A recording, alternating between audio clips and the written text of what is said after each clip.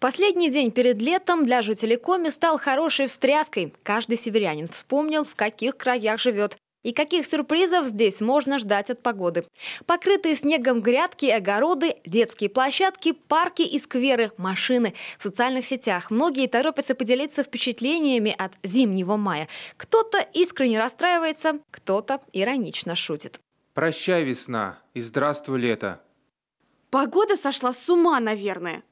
Впрочем, кого-то такая погода и вовсе вдохновляет. Только на севере можно увидеть такую красоту в преддверии лета.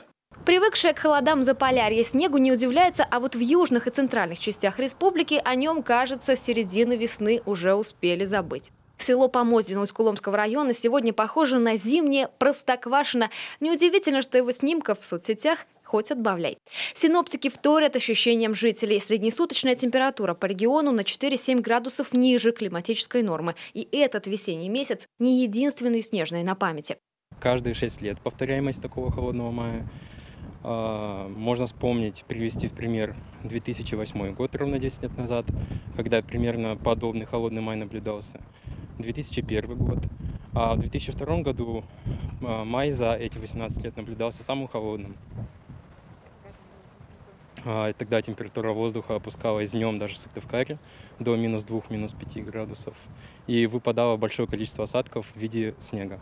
Не на руку подобный май и аграриям в столичном сельхозпредприятии. К посадке на поля сегодня готовы около полумиллиона саженцев капусты. Высадить их хотели на днях, но помешала погода.